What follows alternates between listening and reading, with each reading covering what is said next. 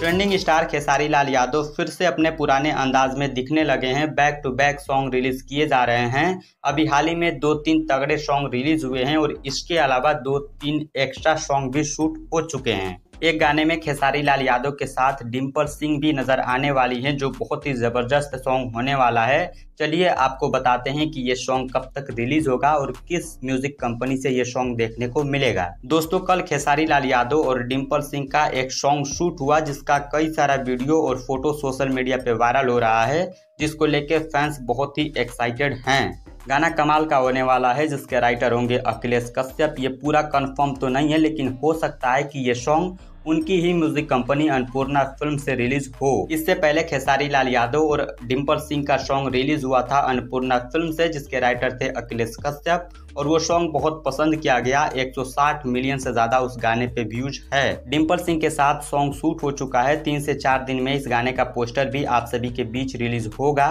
इसके अलावा खेसारी लाल यादव ने आकांक्षा पुरी के साथ भी एक सॉन्ग शूट किया है सारे गामा हम भोजपुरी के लिए। वो सॉन्ग बहुत ही हाई बजट का होने वाला है। उस गाने में लगभग 200 से ज़्यादा डांसर देखने को मिलने वाले हैं। बताया जा रहा है कि ये song film Raja Ram movie में भी देखने को मिलेगा। सॉन्ग से कई सारे वीडियो वायरल हैं जो अभी आप स्क्रीन पे देख रहे होंगे।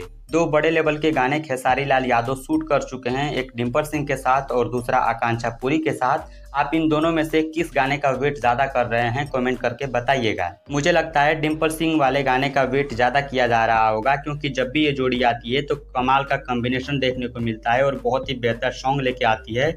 जब भी इनका सॉन्ग रिलीज़ होता है तो दर्शक उसे बहुत ज़्यादा पसंद करते हैं और वो सॉन्ग हंड्रेड मिलियन क्रॉस करना तय होता है। बाकी आप इसको लेके कितना एक्साइटेड हैं कमेंट करके बताइएगा।